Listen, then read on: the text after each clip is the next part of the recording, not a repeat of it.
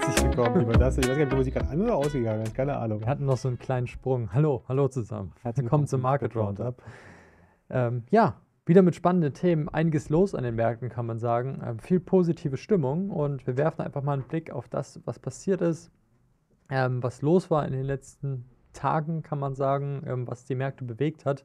Grundsätzlich, ich habe gerade zu Christoph gesagt, wir ernähren uns ja wieder fast den 16.000. Also wir sind hier, sind hier unten 15.900. 40 tickern wir gerade so an, also so leicht, leicht positiv. Ähm, auch gestern eigentlich wieder ein grundsätzlich positiver Tag an den Märkten gewesen. Ähm, wir starten aber, wie gesagt, mit einem kurzen Blick auf die letzte Woche und was da so los war. Denn auch da gab es tatsächlich das große Thema Optimismus, kann man sagen. Optimismus an den Finanzmärkten war das große Thema. Inflationsdruck war auch ein großes Thema. Also der ähm, hat deutlich nachgelassen. Ähm, es ging in die Richtung, ja, Zinssenkungen bald schon wieder, kann man so sagen. Zumindest die ersten antizipieren es jetzt. Ähm, dementsprechend werfen wir natürlich auch dort einen Blick drauf. Ja, und wir haben, ähm, wer es nicht mitbekommen hat, ein bisschen Führungschaos ähm, bei OpenAI gehabt, bei ChatGPT, ähm, also bei allem rund ums Thema KI. Und ähm, das bewegt natürlich irgendwie gerade auch die Märkte, auch wenn sich das teilweise vielleicht bisher nur versteckt in den Kursen widerspiegelt, ist das ein ganz spannendes Thema und wir werden zumindest mal einen kurzen Blick auf die Bewegungen werfen, die wir dort sehen können, Christoph.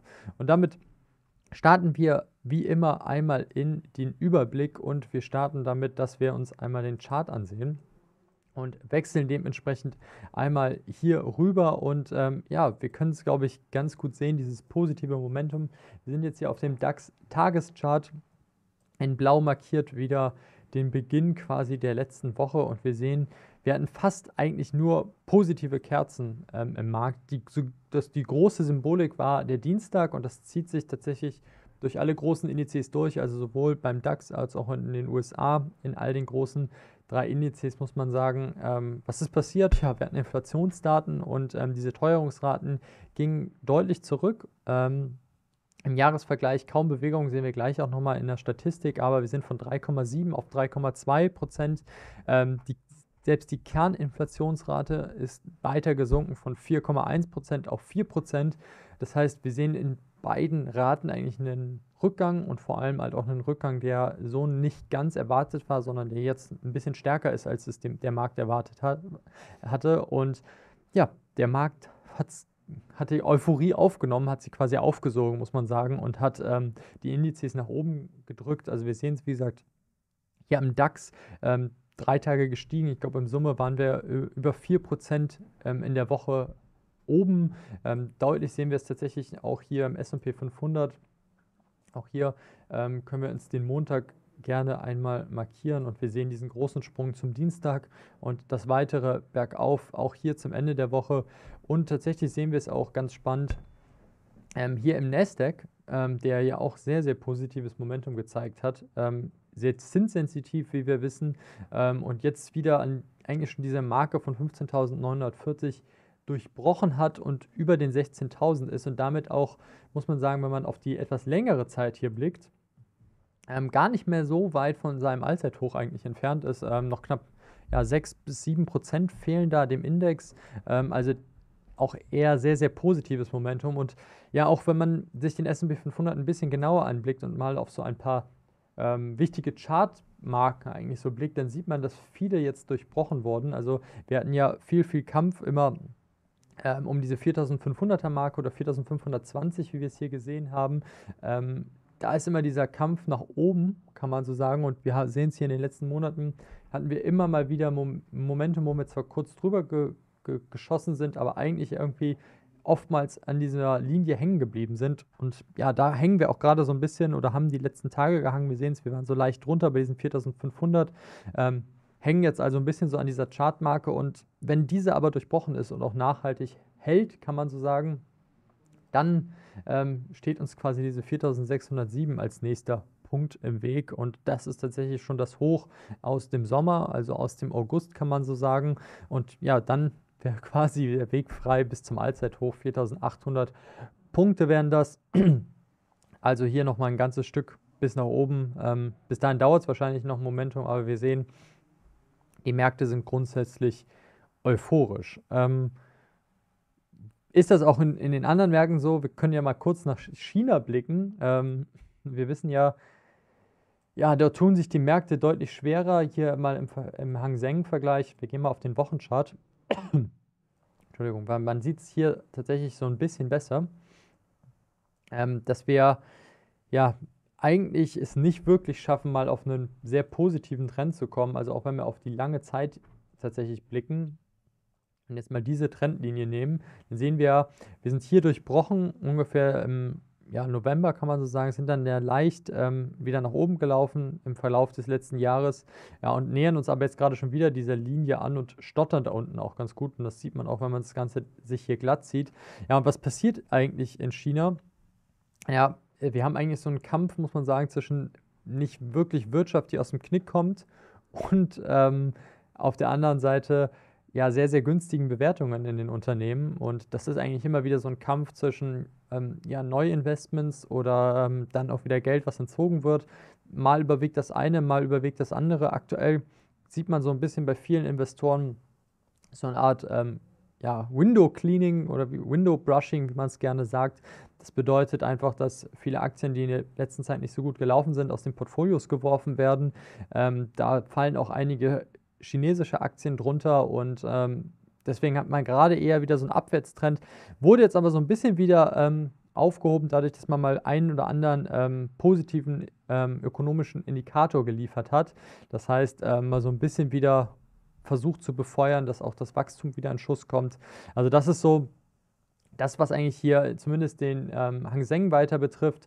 Und ähm, ja, wir sehen es in Japan und wir haben letztes Mal ja diese Linien eingezeichnet, dass auch dort man sich weiter eigentlich in dieser Seitwärtsphase be befindet, aber man halt deutlich ähm, stärker davon betroffen ist, dass man eigentlich ein recht positives Momentum hat durch diese vielen Investments ähm, von ja, Überland- oder Überseeinvestoren, insbesondere wenn man sich halt Japan anguckt und die tatsächlich aber auch gerade sehr stark untermauert werden von guten Fundamentalzahlen und sich deshalb der japanische Leinenindex auf diesen hohen Niveaus befindet. Noch ein kurzer Blick auf die Anleihenrenditen, denn wir haben es ja gesagt, Dienstag war, war quasi der große Showdown ähm, und das sieht man tatsächlich auch in den Anleihenrenditen. Also wenn wir auf die letzte Woche blicken, dann sieht man, wie rasant wir hier bergab gefahren sind.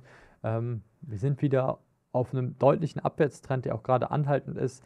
Ähnlich tatsächlich dementsprechend auch ähm, in Deutschland, auch wenn wir hier eigentlich noch gar nicht die Sicherheit in Richtung Inflation sehen. Ähm, und wir sehen es natürlich auch noch bei der etwas sensitiveren Zwei-Jahres- Anleihe, dass auch hier wir unter einem Abwärtstrend und dementsprechend jetzt auch wieder unter dieser 5%-Marke liegen. Also alles gut aktuell für die Aktienmärkte und dementsprechend auch Euphorie getrieben von dem, was wir in der letzten Woche gesehen haben. Blicken wir mal auf Zahlen, Daten, Fakten. Ähm, wir haben noch ein, zwei Statistiken dabei. Ähm, man sieht hier so ein bisschen ähm, nochmal Inflation etwas heruntergebrochen im Vergleich zum letzten Jahr und auch im Vergleich zum, von der, von der Jahr-zu-Jahr-Entwicklung, kann man so sagen. Denn wenn man jetzt hier quasi ein Jahr zurückblickt, dann sieht man, hat sich hier nicht wirklich viel getan. Aber wir sehen auch ähm, ja, im Oktober, hat sich nicht wirklich viel getan. Wir waren quasi flat im Vergleich zum Vormonat.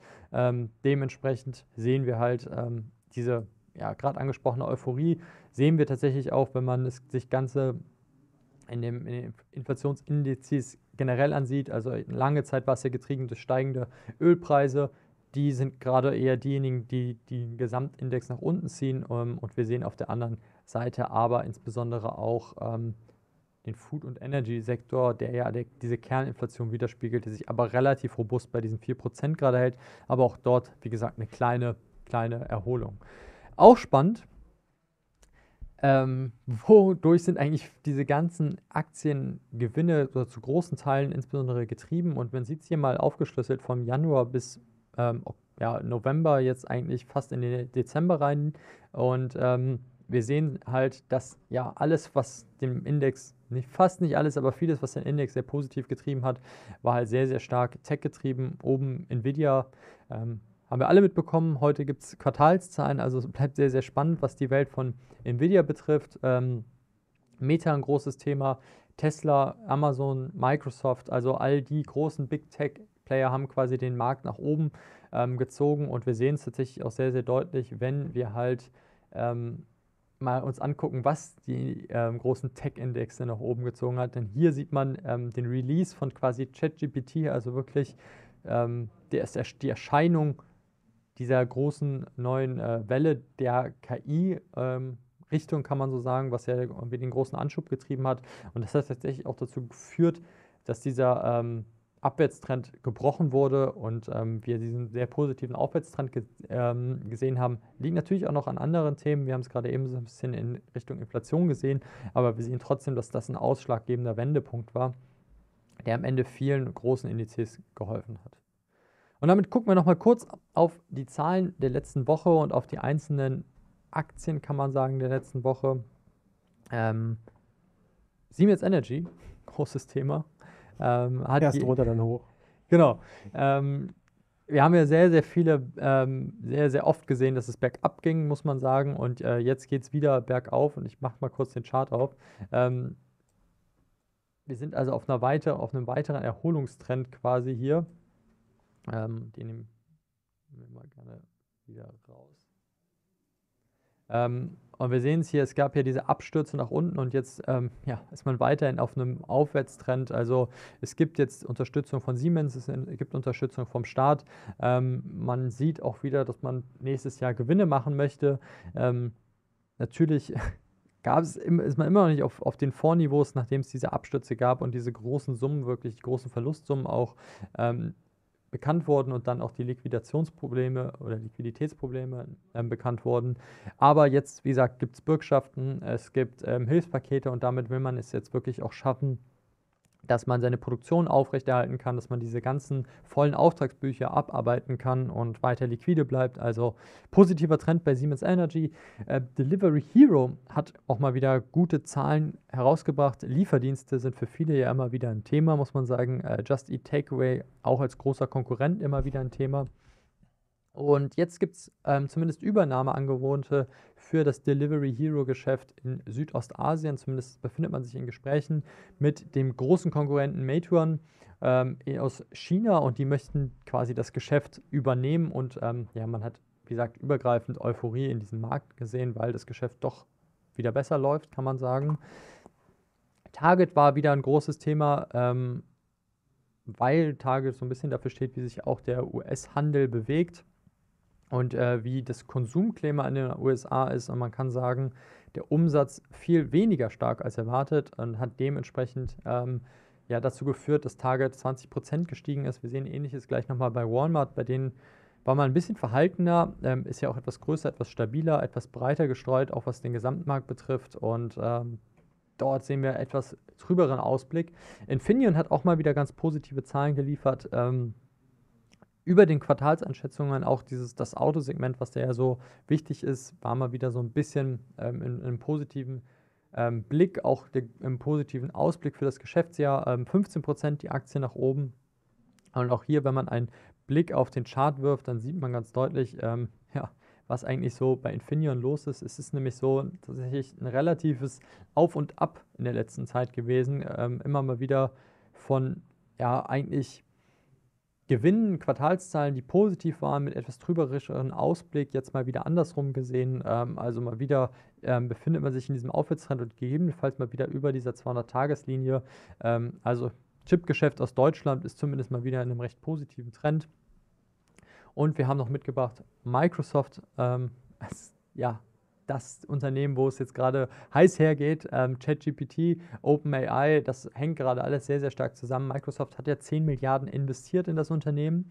Ähm, aber um die Struktur mal so ein bisschen zu kennzeichnen, es ist halt nur das Unternehmen, was auf oder unter, je nachdem, wie man es beschreiben möchte, dem großen OpenAI an sich sitzt. Denn OpenAI an sich möchte eigentlich eine Non-Profit-Organisation ähm, sein, also möchte künstliche Intelligenz entwickeln, um ja, sie dem Markt zur Verfügung zu stellen in einer gewissen Art und Weise, um diese Technologie zu erforschen, um ähm, Gutes zu bewirken, um es ganz groß zu, zu nennen, aber um sich halt ähm, Kapital zu beschaffen, gibt es Untersektionen, die halt auch ähm, For-Profit sind. Ähm, und in diesen Untersektionen war halt auch Sam Altman quasi aktiv, hat dort das Geschäft gesteuert. Ähm, das war auch der Bereich, in den Microsoft insbesondere investiert hat. Ähm, dementsprechend hat Microsoft zwar Geld investiert, hat aber eigentlich keine Entscheidungsgewalt. in dieser Non-Profit-Organisation und ähm, hat jetzt sich, die Wendung hat mehr oder weniger ergeben, ähm, man möchte wieder ein bisschen mehr zu diesem Non-Profit scheinbar zurückkehren. Sam Altman wurde ähm, gefeuert, dann sollte er gegebenenfalls wieder zurückkommen übers Wochenende, weil Microsoft sich dafür dann doch eingesetzt hat. Nun ist es aber scheinbar so, dass er zu Microsoft direkt wechselt, mitsamt vieler weiterer OpenAI-Mitarbeiter und ähm, soll dort halt den Bereich für KI-Forschung weiter ausbauen. Und die einzige Chance, die gerade gesehen wird, ähm, damit ja irgendwie sich dieses Rad doch nochmal zurückwendet, ist, dass es viele Forderungen gab, ähm, Protestbriefe gab, jetzt von OpenAI, die gefordert haben, dass sich dieser Verwaltungsrat, der sich ja um diese Non-Profit-Organisation eigentlich kümmert, ähm, komplett auflöst und ähm, man ja. dieses Geschäft neu strickt. Also ja, spannende Strukturen, ne, dass man sagt, auf der einen Seite, die Investoren haben gar kein Mitspracherecht, aber der Vorstand hat letztlich ja, ein, ja, ein, Schlüsselposition ja letztlich da entlassen, die, was natürlich Investoren aufschreckt, aber die haben eigentlich kein Mitspracherecht. Also was da gerade hinter die Kulissen ab, sich abspielt, kann man sich, glaube ich, grob ausmalen. Ja. Ähm, und Microsoft setzt ja in der aktuellen Strategie schon sehr stark darauf, in dem Bereich ähm, AI auch führend zu sein, das in die Welt zu tragen. Also nicht nur, dass jemand, also nicht nur die, also speziell den Nutzen dieser Technologie in die Welt zu tragen und hat natürlich, sitzt mit dem Betriebssystem und auch mit den Office-Produkten Produkten natürlich genau an der richtigen Stelle auch wirklich die PS da auf die Straße zu kriegen, theoretisch. Und äh, das ist natürlich schon so ein kurzes so, kurzer Aufschrei in der, in der Szene. Was ist da denn jetzt plötzlich los? Absolut. Und ähm, man sieht es halt ganz deutlich, dass ähm, man mit diesen Investments, und man wusste ja auch schon vorher, dass man eigentlich jetzt nicht in, in das Unternehmen als Profit-Organisation an sich investiert, sondern halt die Technologie für sich vereinnahmen möchte und nutzbar machen möchte. Man sieht das bei Microsoft, dass es in extrem vielen Produkten ein, einfließen soll. Und Microsoft hat ja so viele Produkte, die im Alltag sehr, sehr viel genutzt werden. Ähm, dort sieht man quasi die Technologie und dort möchte man jetzt auch hin und deswegen ist diese Bewegung auch so spannend. man sieht auch, wie, wie nah Microsoft da gerade äh, als Akteur dran ist, obwohl sie eigentlich gar kein Mitspracherecht haben und im Zweifel jetzt sagen, okay, dann nutzen wir das Know-how, die Technologie für uns. Ähm, die Aktie fand es grundsätzlich wieder ganz gut, ähm, ist 2 bis 3 Prozent jetzt erstmal gestiegen. Ähm, da muss man sagen, Microsoft ist natürlich ein großes, großer, großer Tanker, ein großes, großes Schiff ähm, und ja, da bleibt es einfach weiter spannend, ob man jetzt wirklich ähm, quasi die gesamte Truppe einmal zu sich fast drüber ziehen kann. Denn natürlich bleibt ohne die Mitarbeiter nicht mehr so viel übrig, wenn man ähm, an OpenAI denkt, die ja insbesondere eigentlich für Forschung und so bekannt sind in diesen Bereichen und das Ganze eigentlich als, Know-how-Wissen ähm, verbreiten wollen. Ja. Also spannend bei Microsoft, ähm, spannend auch bei Alibaba. Die haben nämlich jetzt gesagt, ähm, ja, Aufspaltung, das ist ja das große Thema bei Alibaba, ähm, wird erstmal so ein bisschen aufgeschoben, denn man weiß jetzt gar nicht, was mit den äh, Chip-Beschränkungen ist, was mit ähm, den Exportbeschränkungen ist, wie es generell weitergeht, auch mit der Wirtschaft und, und, und, und bleibt erstmal quasi als Konglomerat bestehen, weil man sagt, man kann die Risiken so auch besser abfedern. Ähm, viele warten aber ja auf diese Abspaltung und dementsprechend fanden das die Aktionäre aus der Richtung zumindest gerade aktuell nicht so spannend, zumindest die Börse fand es nicht so spannend mit minus 9%. Auch bei Cisco ähm, enttäuscht so ein bisschen die Zukunft, denn die Zahlen an sich waren eigentlich gut, aber hier ist man auch so ein bisschen vorsichtig, was das Gesamtjahr betrifft, ähm, sowohl auf Umsatz als auch Gewinnsicht. Also ähm, Netzwerkausrüstung scheint aktuell nicht mehr so das super Thema zu sein, aber ähm, eher halt in Richtung Zukunft geblickt, muss man sagen, denn aktuell hat sich die Nachfrage noch recht stabil gezeigt. Ähnliches bei Walmart, auch dort ähm, hatte man eigentlich bessere Quartalszahlen als gedacht, aber war so ein bisschen skeptisch, was die weitere Zukunft ähm, ja, betrifft.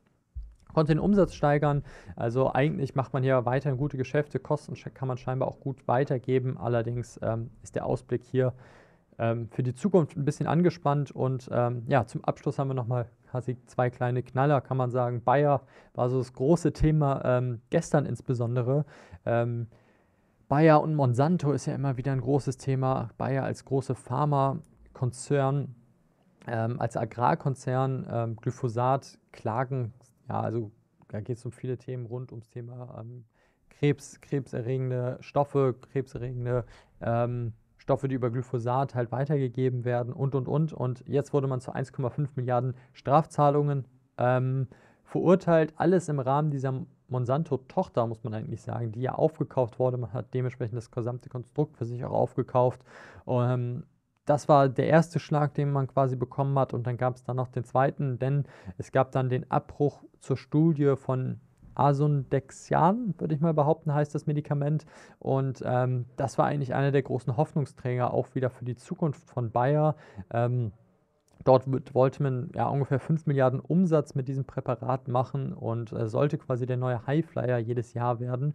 Ähm, allerdings, ja, scheint es jetzt nicht so wirksam wie gedacht. Man hat also diese Studie erstmal abgebrochen. Irgendwie möchte man es noch weiter nutzen, aber nicht mehr in der Form und Größe, die gedacht war. Und dementsprechend ja, ging es rapide bergab für die Bayer-Aktie. Ähm, ja, und auch für HelloFresh sieht die Lage nicht ganz so gut aus. Also wir blicken mal kurz auf Bayer einmal. Man sieht es, ähm, man ist jetzt hier bei 34 Euro angelangt, ähm, nach einem langen Abwärtstrend und gehen auch hier mal auf den Wochenchart. Da sieht man es ganz gut. Ähm, also wir befinden uns jetzt hier wieder auf Niveaus zur Finanzkrise, muss man sagen, bei Bayer. Ähm, also nach einer sehr, sehr positiven Zeit ging es ja wirklich stufenweise weiter bergab. Und ähm, ja, man ist eigentlich bei diesen ungefähr 34 Euro jetzt hier unten geblieben. Und man sieht, das sind ungefähr die Tiefs aus der Finanzkrise und der Krise, ähm, ja, wenn man hier an 2011 denkt, man ist also auf wirklichen Tiefstständen, kann man so sagen, was auch die Aktie betrifft. Und das ist halt so ein bisschen die ungewisse Zukunft, die jetzt einfach über dem Konzern hängt, ähm, in Kombination mit weiteren Strafzahlungen. Ähm, das Bild könnte also gerade schöner sein für Bayer ähm, und es könnte tatsächlich auch schöner sein für HelloFresh. Ähm, also hier sehen wir es. Ähm, die Zahlen und der Ausblick ja, waren wieder nicht genau das, was man erwartet hatte. Es ging also wieder bergab.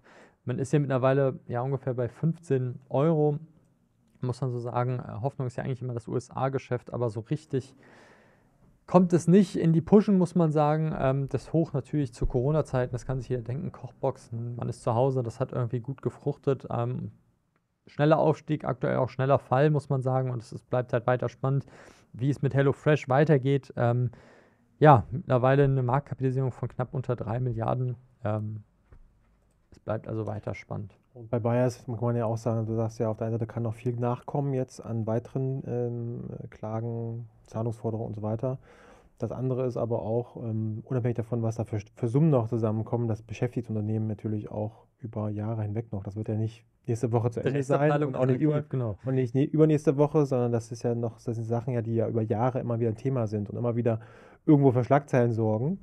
Also ein typisches Übertitel, wo ich zum Beispiel jetzt überhaupt mich nicht für interessieren würde. Selbst, also ich weiß ja auch nicht fundamental, was da los ist, aber nehme an, es wäre fundamental ein toller Titel, würde ich mich da, glaube ich, jetzt aktuell nicht mit beschäftigen wollen, weil immer irgendeine News gerade dann wieder hin und her geht und es ist einfach eine Unruhe dann auch da. Ne? Ja, es ist genau so. Also man muss halt sagen, dass ähm, diese Übernahme das Unternehmen jetzt ja auch schon seit bestimmt fünf, sechs Jahren intensiv beschäftigt und ähm, Klagen beschäftigen das Unternehmen und halt in einem Ausmaß, muss man auch ganz klar sagen, die halt jetzt nicht ähm, einfach schluckbar sind, wo man jetzt sagen würde, hey, ähm, das kann so ein Unternehmen locker verkraften. Ähm, wenn man jetzt an kleinere Klagen denkt, zum Beispiel, die auch immer mal wieder Microsoft, Google oder ähnliches treffen, wo man trotzdem sagen kann, hey, da kann man als Investor drüber hinwegsehen.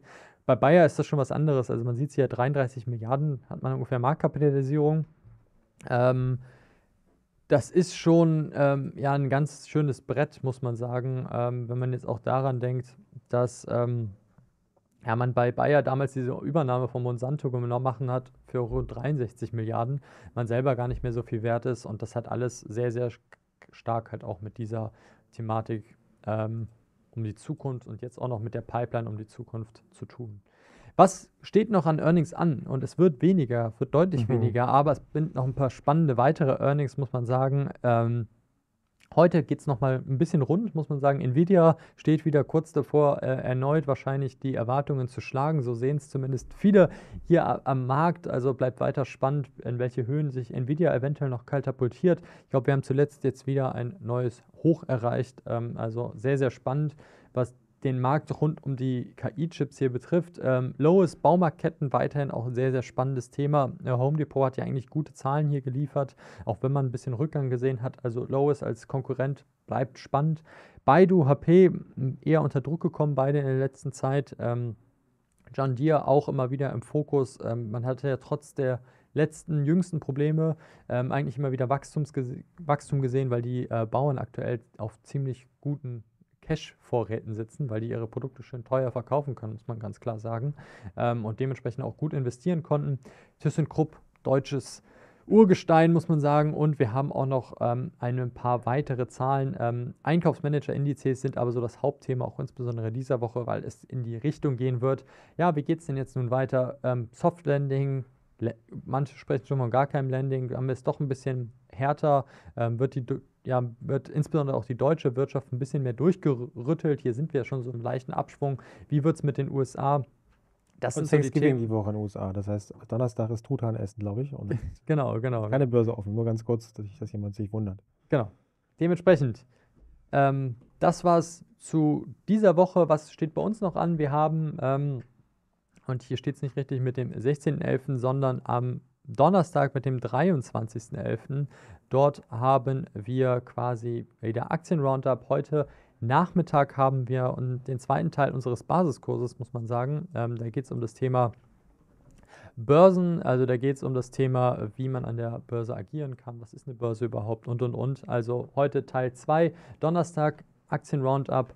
Deutsche Telekom wird das Thema sein, ähm, auch wenn unser Dividendenmonat langsam abklingt oder eigentlich fast vorbei ist. Wir müssen ihn so langsam hier oben rausnehmen, kann man aber sagen, dass das wieder noch ein Thema ist und dementsprechend auch in der Aktienwerkstatt so ein bisschen auch weiter ein Thema werden soll. Auch da werden wir natürlich ein bisschen auf ähm, die Bewertungsschäden blicken, auf die Dividendentitel. Wir werfen, werden ein bisschen auf unser neues Depot blicken. Deutsche Telekom, da kriegen die, die einen kriegen erstmal Bauchschmerzen und die anderen sagen, mein Gott, hat auch immer gut funktioniert. Das wohl. Das werden wir auflösen. Genau. Dementsprechend, vielen Dank, Christoph. Sehr gern, wie immer. Wir übergeben wieder. Bis dahin. Weiterhin zur Woche.